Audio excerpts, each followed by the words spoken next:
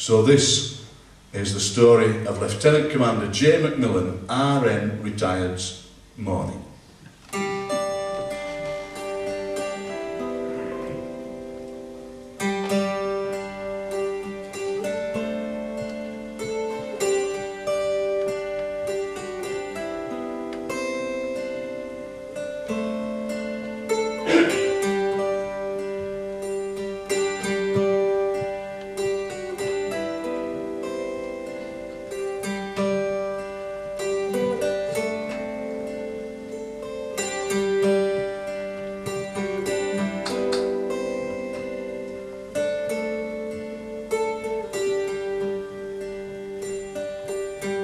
Oh, 6.25am, my dad wakes up and he tells the house, I'm just waking up.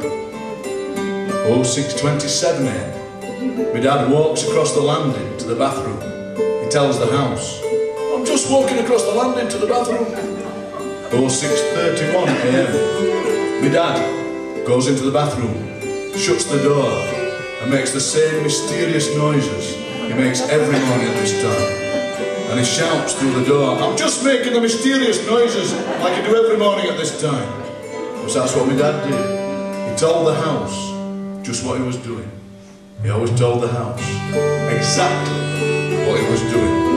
Or 6.40 am, my dad goes downstairs. He passes the fifth step, which always creaks, and he tells the house, I'm just passing the fifth step.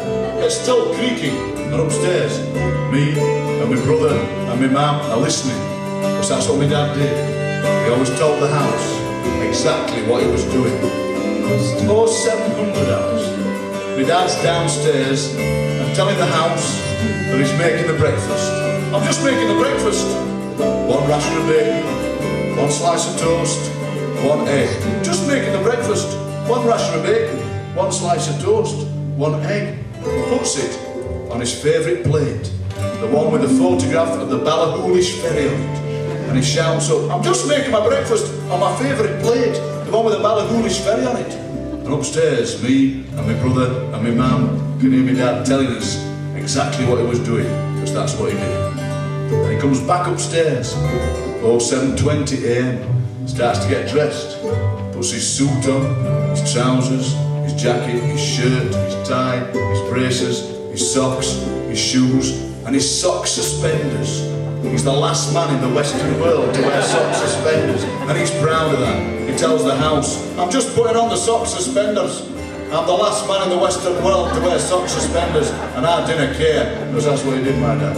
He told the house exactly what he was doing. He told the house just what he was doing. Then he goes downstairs, and telling the house, just going downstairs.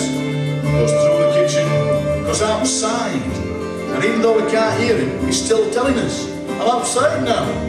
He lifts up the garage door and starts to reverse the old Zephyr 6 down the drive, UHE 8. I'm just reversing the Zephyr 6 down the drive. And he gets down to the bottom of the drive and he opens the gates at the bottom of the drive. And the whole thing about my childhood was, I always remember that when he opened those gates at the bottom of the drive, they played the first two notes of Sloop John B by the Beach Brothers. And my dad says, I'm just opening the gates at the bottom of our drive. I must get them oiled, because I didn't like the Beach Boys. Comes back to the house. He tells us, I'm just away to the office. Upstairs, me and my brother and my mum listen, because he tells the house exactly what he was doing. He gets in the car, he reverses down the drive onto Enthorpe Lane, turns right down Tempest Avenue, and the sun comes up over North Street. And my dad gets a pair of sunglasses out and puts them on the front of his glasses. And he looks faintly ridiculous. and he tells the house, even though we can't hear him, I look faintly ridiculous. and he sets off down North Street to the ring up Nanny Marr Road down Snape Hill, through Wombwell, up Wood Walk to Birdwell. Because that's what he does. He always tells the house exactly what he was doing. Every morning, the same routine. He made a story out of it. He told the house exactly what he was doing. That's why I loved him so much, because he could make nothing into pure story gold. Leave him there, just driving down the A61 past Hillsborough towards his office on Road Road. We can't hear him, but he's still telling